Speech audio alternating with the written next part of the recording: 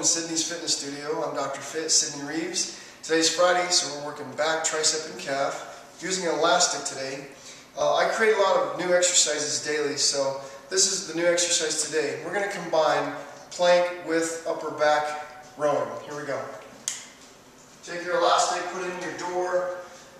Comes with an attachment, or you can just put it around the pole like that. And we're going to go down into the plank position, okay? And we're going to pull. So that's working your lats right there.